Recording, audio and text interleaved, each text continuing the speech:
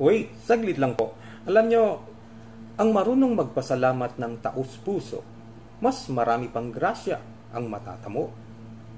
Ako po si Jopo Guerrero. Peace.